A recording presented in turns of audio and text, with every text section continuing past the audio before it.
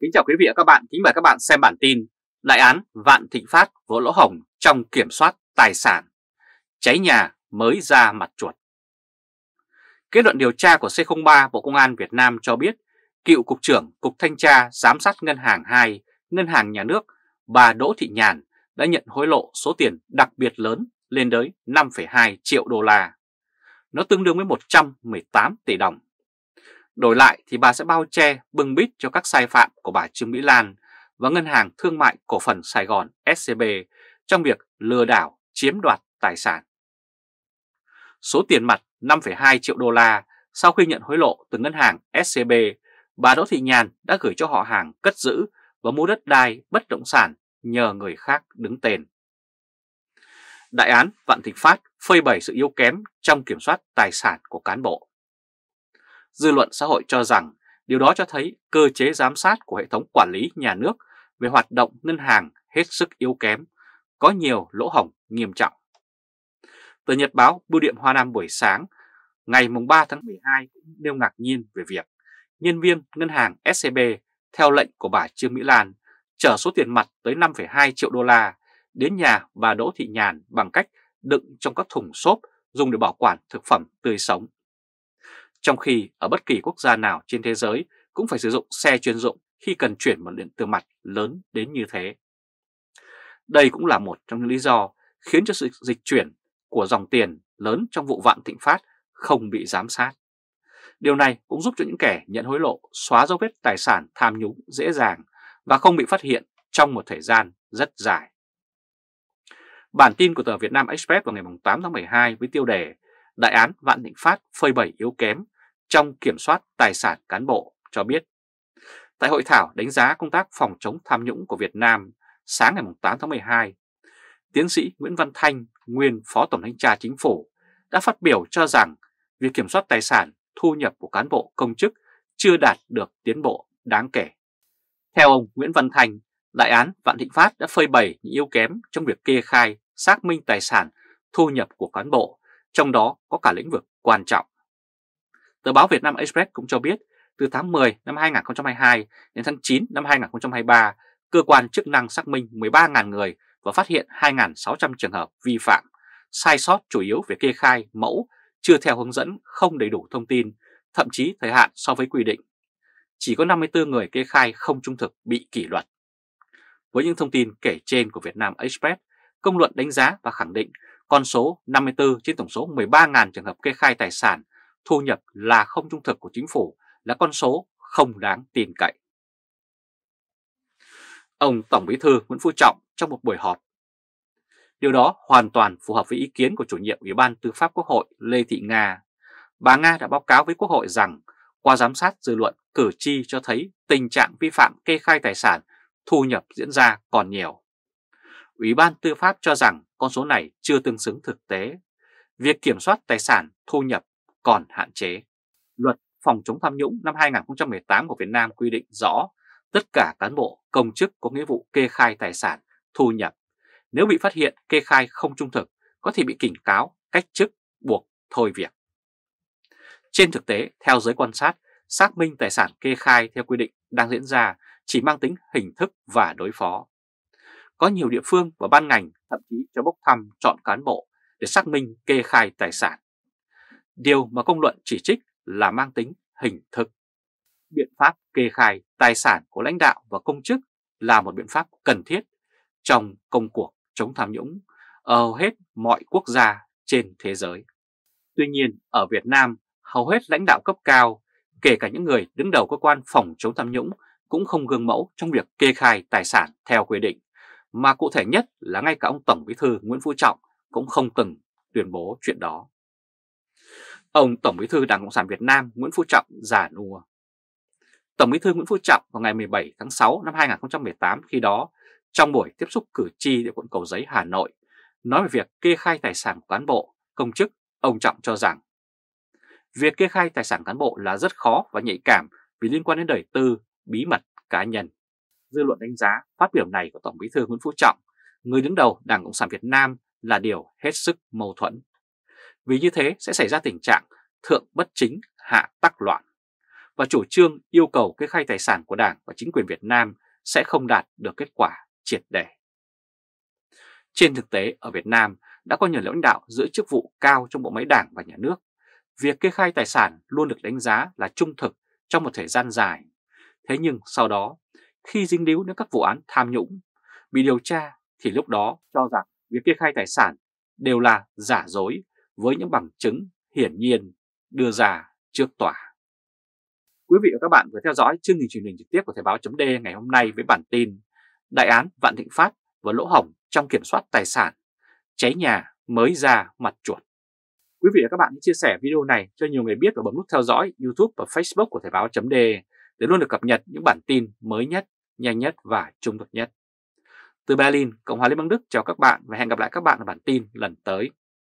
Trung Khoa Thời báo chấm Kính chào quý vị và các bạn, kính mời các bạn xem bản tin Vấn đề tình trạng mua bán giấy tờ bằng cấp giả công khai chủ trương lớn của ai?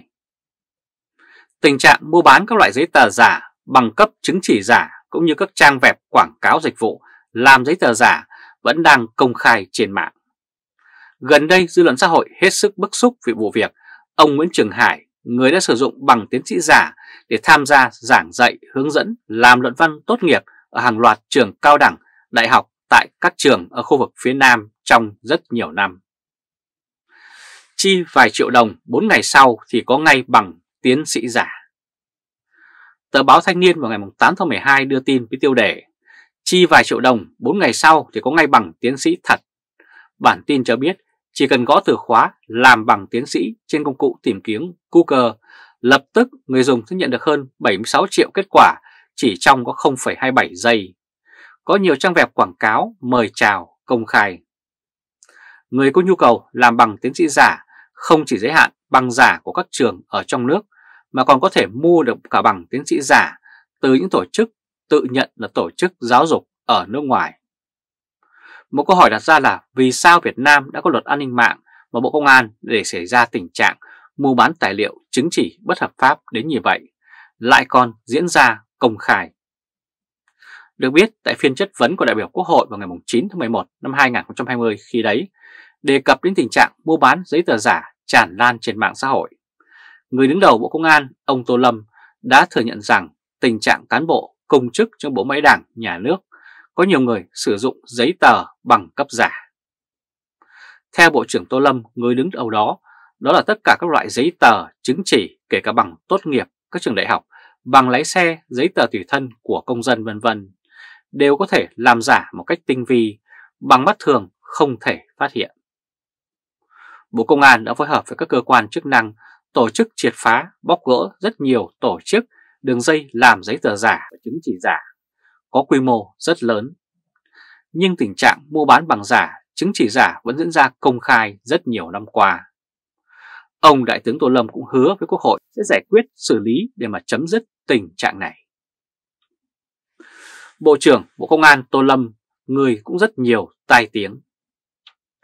Kể từ khi Bộ trưởng Công an Tô Lâm đăng đàn phát biểu vấn đề sử dụng giấy tờ bằng cấp giả tại Quốc hội vào tháng 11 năm 2020,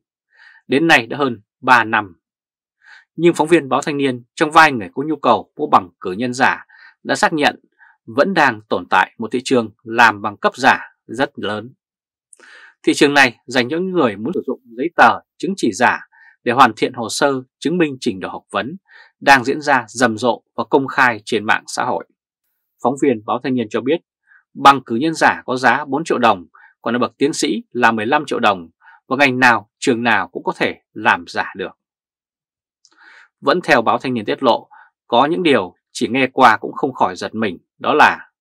giá của các bằng tiến sĩ được giao bán cũng đa dạng, mức cao nhất là 15 triệu đồng, còn mức thấp nhất rẻ hơn một nửa chỉ 6 triệu đồng cho một tấm bằng tiến sĩ công nghệ thông tin tại trường Đại học Bách khoa Thành phố Hồ Chí Minh.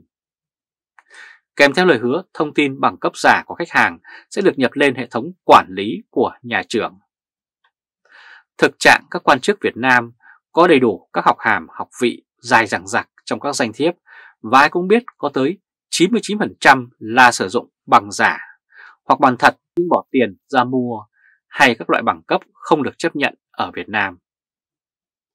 Theo giới chuyên gia thạo tin, để xảy ra tình trạng vừa kể trên là do hệ thống xét tuyển công chức, đề bạt, bổ nhiệm cán bộ lãnh đạo dưới thời ông Tổng Bí thư Nguyễn Phú Trọng đã quá chú tâm đến vấn đề bằng cấp mang tính hình thức. Vì hệ thống đòi hỏi bằng nọ cấp kia khiến nhiều người muốn được tuyển dụng, muốn được lên chức thì phải sử dụng giấy chứng nhận hay bằng cấp giả. Tuy nhiên, việc xử lý đối với các đối tượng sử dụng bằng giả vẫn chưa cân quyết, chỉ cảnh cáo hay cùng lắm là khiển trách. Thậm chí như vụ mua bán chứng chỉ tiếng Anh ở Đại học Đông Đô, bất chấp sự phẫn nộ của dư luận, thì cuối cùng cũng chìm xuồng. Đại học Đông Đô nổi tiếng trong việc cấp bằng giả cho rất nhiều cán bộ cấp cao trong cả nước. Được biết trong số 193 bằng giả được Đại học Đông Đô cung cấp, có 60 người sử dụng bằng giả này, trong đó có 55 người sử dụng để mà nộp hồ sơ xét tuyển nghiên cứu sinh hoặc bảo vệ luận án tiến sĩ. Ngoài ra còn dùng để thi nâng hạn ngạch, thi công chức, khai vào hồ sơ cán bộ vân vân. Cựu Bộ trưởng Bộ Giáo dục và Đào tạo ông Phạm Minh Hạc trong một bài viết đăng trên báo Nhân dân vào tháng 7 năm 2017 cũng đã chua sót cho rằng Điều đáng buồn là đối tượng sử dụng bằng giả chủ yếu là cán bộ lãnh đạo và người có thẩm quyền. Vậy mà vẫn lừa dối thì làm sao họ có thể nói được dân? Công luận đặt câu hỏi rằng những người học giả, bằng giả chỉ có thể chui vào hệ thống công chức của bộ máy đảng, nhà nước chứ không thể lọt vào các khu vực tư nhân hay doanh nghiệp của nước ngoài. Vậy tại sao lãnh đạo Việt Nam lại để tình trạng này diễn ra kéo dài mà không xử lý triệt để đây? Quý vị và các bạn vừa theo dõi chương trình truyền hình trực tiếp của Thời báo chấm với bản tin Vấn đề tình trạng mua bán giấy tờ bằng cấp giả công khai, chủ trương lớn của ai? Quý vị và các bạn hãy chia sẻ video này cho nhiều người biết và bấm nút theo dõi YouTube và Facebook của Thời báo chấm để luôn được cập nhật những bản tin mới nhất, nhanh nhất và trung thực nhất. Từ Berlin, Cộng hòa Liên bang Đức chào các bạn và hẹn gặp lại các bạn ở bản tin lần tới. Trung Khoa Thời báo chấm